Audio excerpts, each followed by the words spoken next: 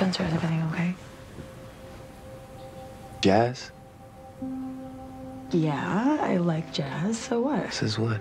Since Christelle plays it nonstop in the office, and he was either love it or be tortured every day, so I chose love. Okay. And uh, what about Noah? I thought y'all two were beefing since he stole your article. I mean, that was that was weeks ago, and he's actually been really supportive since. See, I ain't know that. Just like I don't know your coffee order no more.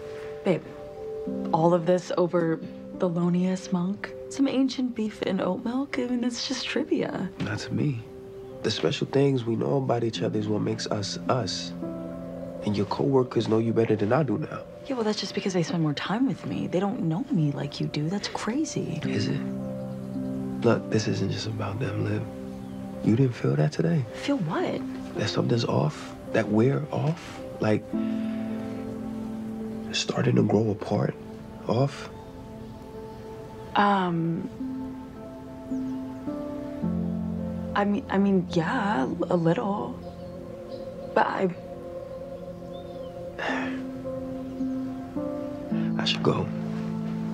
You got guests downstairs and, and now at the time. Ma, I'll let you later.